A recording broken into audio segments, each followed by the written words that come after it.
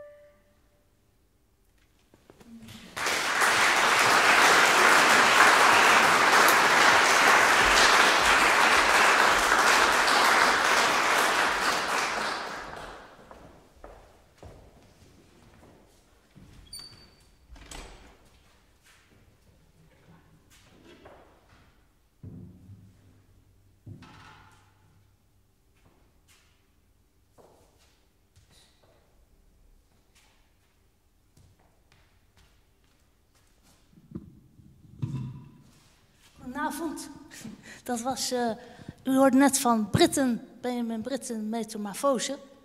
En um, ik, ik wilde nu eigenlijk iets aan, aan Kate Moore, de componiste die er vanavond is, en aan Maria Blaise ook iets vragen of ze willen vertellen over hoe zij eigenlijk metamorfose gebruiken in, in beeldende kunsten en in muziek. Dus als jullie hier willen komen dan. Nee, staan is goed. Als, ja. Dus, want uh, kan je iets vertellen over hoe je, want ik, ik was een keer bij Maria Blaise en toen uh, liet ze me uh, haar kunstwerken zien en toen vertelde ze dat ze eigenlijk op het idee was gekomen om van één vorm eigenlijk alle vormen te maken. En daarvoor moest je precies de goede verhoudingen hebben en precies, net als je de gulden snede, dat is precies het goede gewicht en precies um, goede verhoudingen.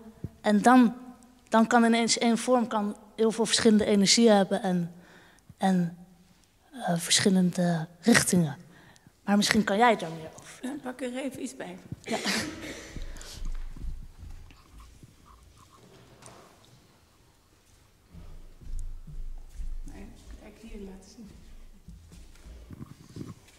Uh, nou, die vorm is dus de autoband. En ik ben er ooit in gaan snijden. Eerst voor hoeden. En die, nou, dat was, uh, die, daar kon je heel veel vormen mee doen op je hoofd. En uh, daarna ben ik dus eerst hier gaan snijden. En toen ontstond deze vorm. Maar dat moet ik eigenlijk even hier neerleggen. Dat wordt dan een golvende vorm. En het is als zeewier. Als ik hem dan gaat die spiraal vormen. Dus dit is de zeewiervorm. En die kan dus inderdaad in spiraal en een spiraaltje naar buiten toe. En uh, de tegenovergestelde vorm, als je dus de band aan de binnenkant oversnijdt, dan krijg je, dan krijg je deze vorm, die, die, die spiraal naar binnen toe. En het kan ook een slak zijn of wat dan ook. Maar of hij gaat, die andere golf naar buiten en deze golf naar binnen. En dit principe van die twee, dus de, het zeewier en deze vorm, um, dat is dan zeker twintig jaar geleden dat ik erop kwam. En dat werkt nog steeds. Wat doet die vorm?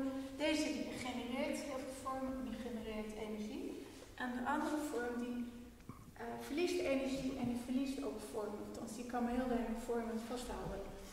En het principe uh, heeft mij toen zo gepakt dat ik daar nog, steeds mee werk. Ik heb er een boek over gemaakt, dat ligt achter.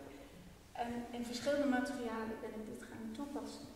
En heel veel gewerkt met uh, dans en muziek om hier om te kijken wat, um, hoe dat werkt voor andere gebieden. En kom bij jou. hoe werkt het voor jou? Um, it's amazing. Uh, um, I'll speak in English. I, just for the sake, for the zekerheid. abstract, complex things to say. But um, I, I, find your work so impressive and so amazing because it seems to me like a physical manifestation or a material manifestation of what happens in sound itself with um, frequencies and the mm. way um, uh, frequencies interact with each other. Um, and the harmonic series and uh, the way uh, the harmonic series interacts in an acoustic space. Can you hear it? Sure. Yeah. So, uh, so seeing your work is like seeing music. I find it uh, very inspiring in that way.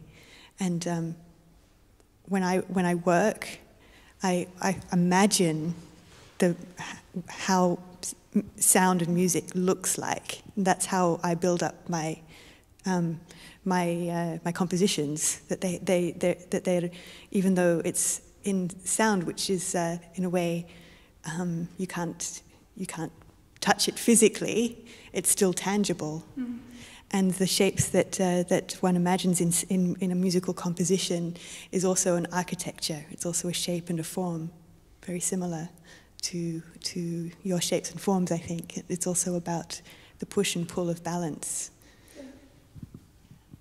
Yeah, um, yeah and when you finally have one, uh, one grid uh, you can do anything from that grid. And that's also in, in my book. I found a way of working that from one grid you can shape anything. And that's also where we come together. Beautiful. Okay. Thank you. And um, uh, the next piece what of music will be from Debussy, Syrinx. And in fact, it is, that is also about, about the reed. So it reminded me also of the, art of Maria. And it, the story is about um, a nymph called Syrinx. And, uh, and she is chased by the Greek god Pan. En oh wacht, ik kan weer Nederlands. Maar die, en die, uh, dus god Pan die achtervolgt haar. En uh, toen wilde Syrinx uh, wilde dus hard, die wilde weg van haar vluchten. En toen hebben de goden haar in een rietstengel veranderd. Maar toen, toen plukte de god Pan de rietstengel en maakte er een panfluit van.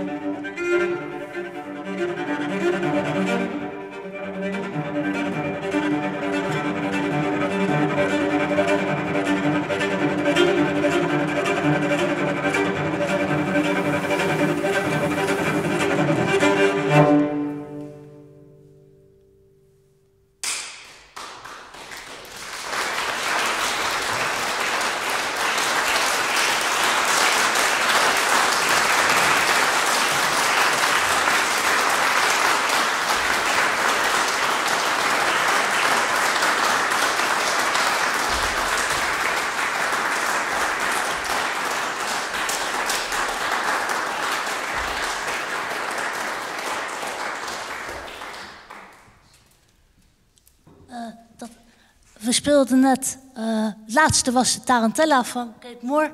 En daarvoor speelde Lestari Stories for Ocean Cells. En um, ja, het was zo mooi met, met dans erbij, omdat, omdat de, zeg maar, mooie van bamboe, vertelde Maria, is dat het heel flexibel is, dus de- maar toch heel sterk. Dus daarom kan het alle kanten op bewegen. En eh, ja, ik wilde nog, eh, want ik weet nog, Kate en Maria vertelden ook iets over dat ze geïnspireerd waren door zeewier. En, eh, en dat, dat was wel mooi, omdat, ja, ze, zeg maar, eh, Maria vertelde dus over wat ze net liet zien met die au- autobanden, zeg maar. Ehm, die vormen die, die dat allemaal kan aannemen, daar, daarvoor was ze eigenlijk op het idee gekomen door zeewier. En, en toen zei Kate, toen ze dat hoorde, van, van hé, want daar dacht ik ook aan in mijn muziek. En eh, ook andere dingen van de zee, zoals de golven. Dat ze zeg maar, je hebt alle, in, een, in de natuur heb je dus ehm, eh, alles in het groot, maar ook in het klein. Maar dus zeg maar macro en micro. En eh, dat, dat hoor je ook heel mooi in de muziek van Kate. Eh, omdat eigenlijk zonder dat je, het, dat je door hebt verandert het ritme steeds een beetje. En daardoor blijft het dus een soort van. Het blijft altijd in beweging. En, maar ik wil vragen of jullie nog iets wilden vertellen over de zee. Het volgende wat we gaan spelen is geïnspireerd op de onderwaterwereld. Met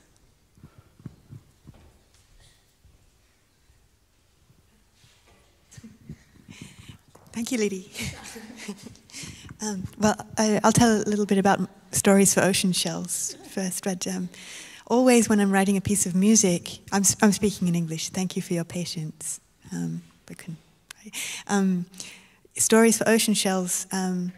Uh, uh, when I'm writing a piece of music, I'm always thinking about. I'm trying to um, uh, recreate something from from nature um, I guess it's always a big challenge um, because when I start to write, I feel very almost I feel inadequate because I feel so limited in in what I can do that I have these twelve notes, and I want to be able to connect with the with the fluidity of movement and the and the the the um, the complexity of shape and form, which when drawing in a way you can do it you, you can bend a line or you can make a line curl around itself. But in, in music, um, it, it, it's, it, it's, um, it's harder to do, or at least it takes a lot of searching.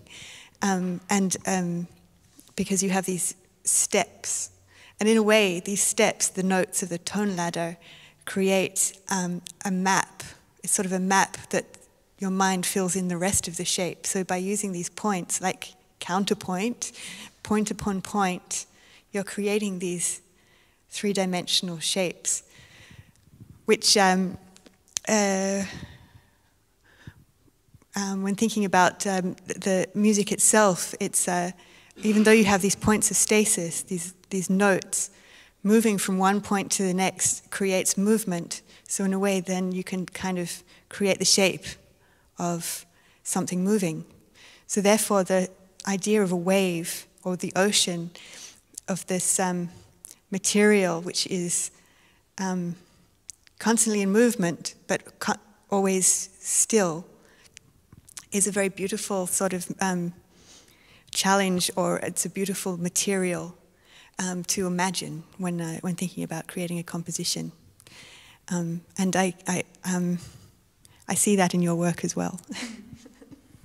I, I don't have words anymore. um, but um, uh, yeah, for me, uh, undulation is also because of uh, the discovery of this undulation in the seaweed is um, so touching. Every curve has a certain uh, tension, the upper curve and the inner curve, and inside of a curve and outside of a curve. So these has, there are so many details in the material that's undulating.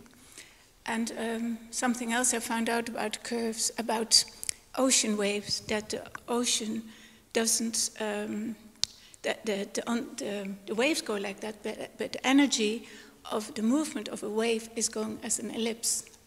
So, um, but the, the energy of the waves co- continues with the waves, but the basic movement is an ellipse. So, you would not imagine, huh? But um, yeah. But something about your forms that, in a way, uh, you can. It's like a, a still form, but you talk about energy and movement. It's continue. Uh, yeah, it's true. Even if a form is uh, silent, it's energized, and it stays energized. Yeah. And I, I think that's all. I don't know. so much to talk about. It's a very deep subject, yeah, I think. we just started working, so.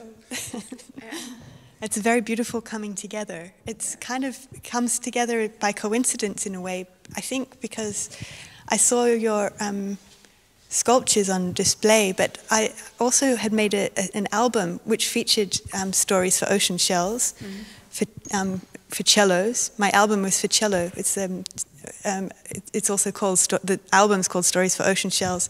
But in order to make those compositions, I first drew the um, the compositions in line form, which look very similar to your um, your pieces. That they're also um, uh, these these three dimensional shapes made with lines, and but they're very basic forms. They're yeah. based in nature, and Exactly. is so elemental. yeah. Yeah. So and, and then also the shells. If you have, I just oh, it's the other one.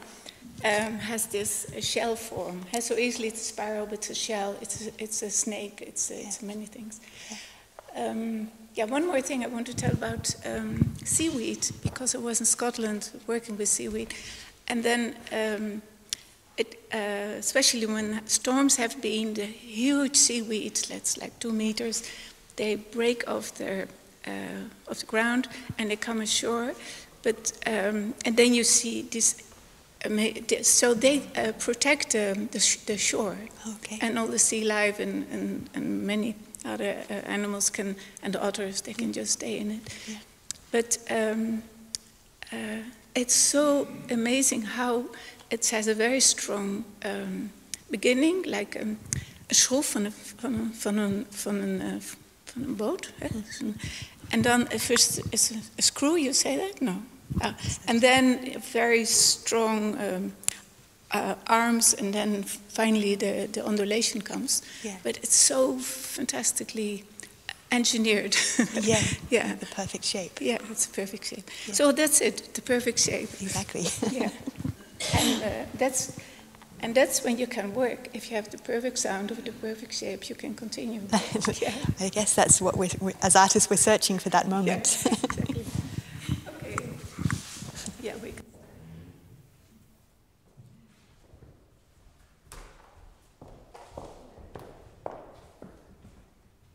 ga iets vertellen over het eh, volgende werk. Ik heb niet voor niets een eh, masker opgezet. Het hoort namelijk bij Voice of the Will van George Crumb. Ehm, een ode aan de walvis. Ehm, hij wil graag dat de muzici een masker opzetten. Om, eh, zodat we vergeten dat we mensen zijn. Maar dat we dus dieren, zoogdieren zijn. Sari, wil je even de microfoon aanzetten?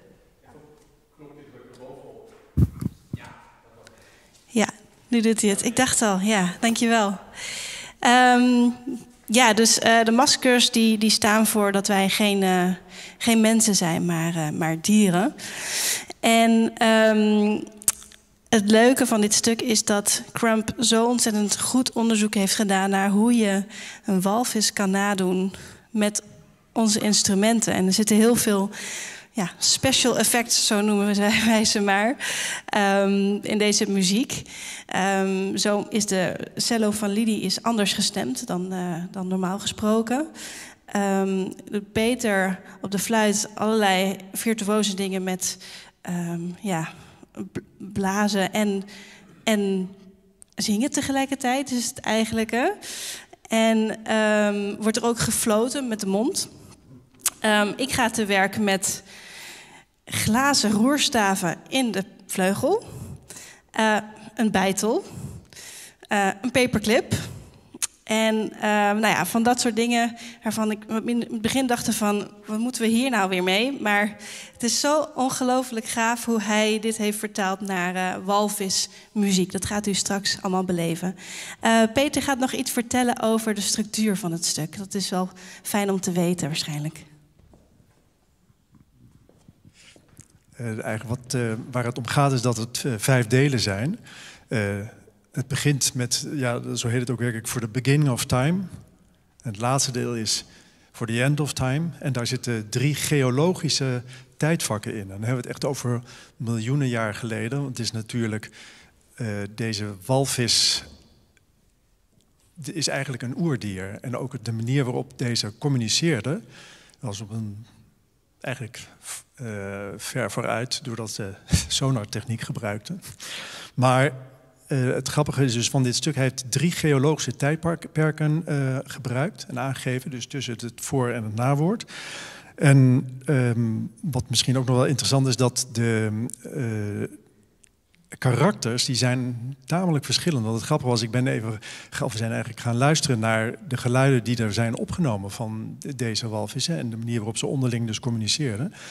En het wordt gebruikt als, dat is tenminste de associatie die ik ermee had, een vrij meditatief uh, karakter. En eigenlijk blijkt dat er ook heel veel andere karakters zijn, maar die, ja, die zijn schijnbaar minder uh, bekend. Maar die heeft Scrum wel in deze muziek heel erg gebruikt. Dus thema eigenlijk met variaties.